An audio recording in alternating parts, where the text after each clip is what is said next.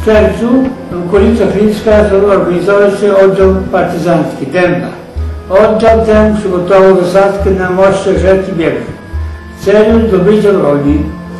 Żandarm niemiecki, który wpadł w zasadzkę, nie stał oporu i dał się rozbronić, ale towarzyszący mu policjant próbował ją bronić zginął i zginął.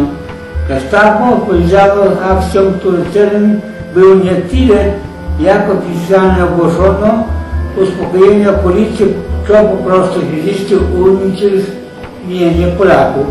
Również aresztowania przeprowadzono 1 lipca 1943 roku aresztowano 50 osób. Listem Polaków złożył sołtys Lwis Kostuscy-Drogis. Wśród nich byli przedstawiciele inteligencji, życieli i prości.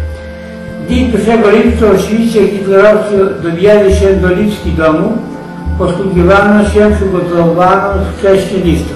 Nie widniało na niej jednak nazwisko Marianny, ale jej syna Stanisława i synowi Anny, Anna miała dwuletnią córeczkę.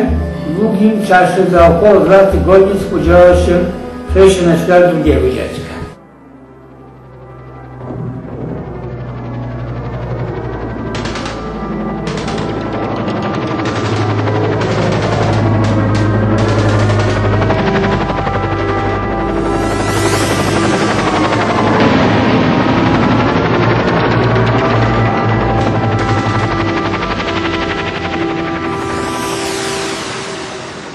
A więc wojna. Z dniem dzisiejszym wszelkie sprawy i zagadnienia schodzą na plan dalszy. Całe nasze życie publiczne i prywatne przestawiamy na specjalne tory. Weszliśmy w okres wojny.